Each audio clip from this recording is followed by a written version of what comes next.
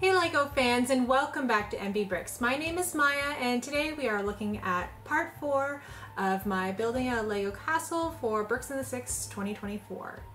If you like castle or medieval style builds, be sure to leave a like and a comment below and don't forget to hit that subscribe button to see more. Today we are going to be looking at a couple of different rooms including the map room, the seating area, as well as the library. So without further ado, let's dive right in. This section seemed to take me quite a while to put together.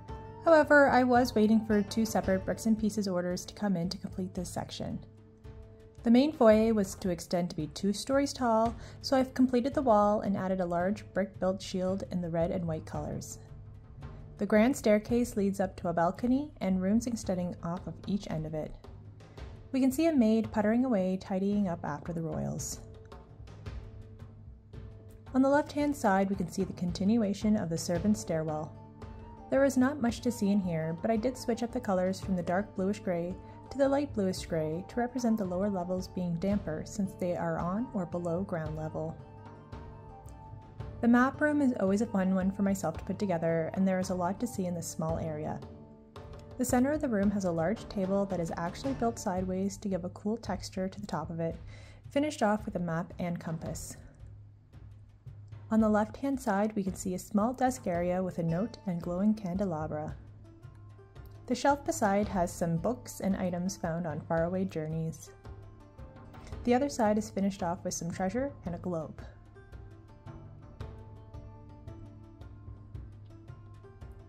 The opposite side of the foyer are a couple more rooms. This first one is the seating room, where the royal family would hang out and entertain guests. There is a large staircase that leads up to the third floor, and in front, a couple of different musical instruments to show off to visitors for entertainment. In front of the window is a large dessert table piled high with pastries, cookies, and a large cake, again, in case they have guests.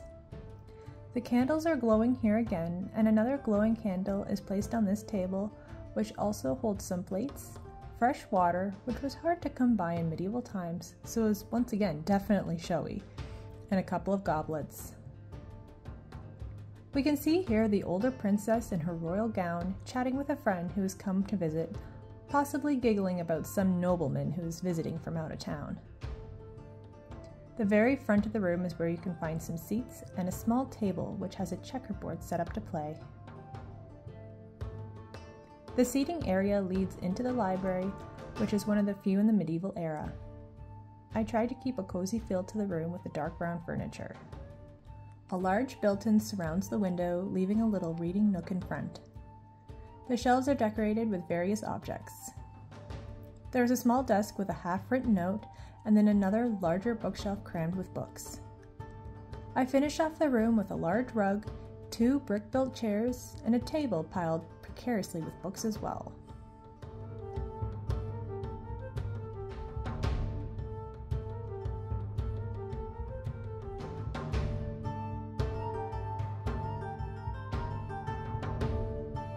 To finish off, I will show you a quick view of how the front of the castle is coming together.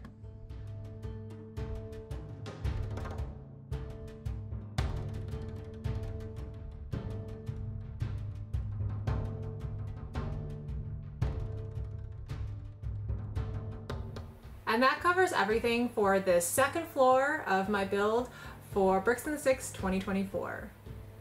If you want to catch up on previous sections of this build or if you want to see more medieval style builds, be sure to check the description below. I will leave a link to both of those playlists.